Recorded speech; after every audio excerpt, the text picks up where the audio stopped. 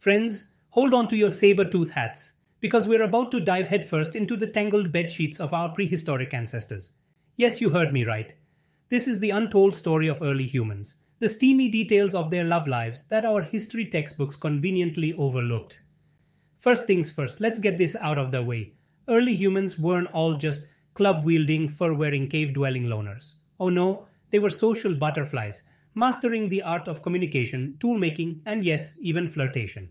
So, how did they do the dance of love? For starters, their courtship was surprisingly sophisticated. It's not like Fred Flintstone just conked Wilma on the head and dragged her to his cave. Nope, it was all about gifts. Like a particularly sharp hand axe or a string of seashells. Who knew a sharp stone could say, Hey, I'm totally into you?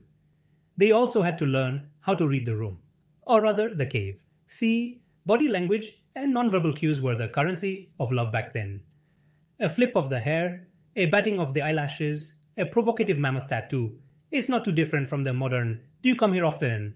or is your name Google because you've got everything I'm searching for. Now here's where things get juicy. The notion of monogamy, not exactly a stone age thing. Early humans were known for their, well, let's call it an open-minded approach to relationships.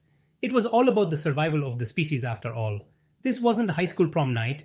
It was the wild and woolly prehistoric era, where having plenty of kids with a diverse set of genes was the hottest trend.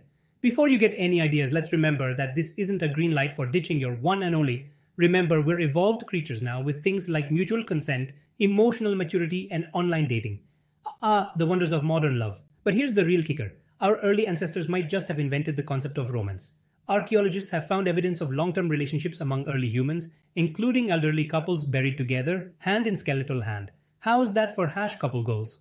In essence, the sex lives of early humans were a mix of the familiar and the completely foreign.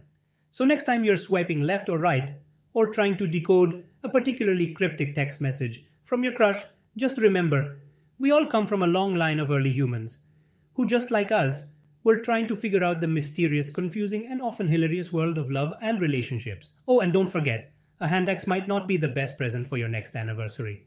Stick with chocolates or maybe a nice necklace, you know, something less prehistoric.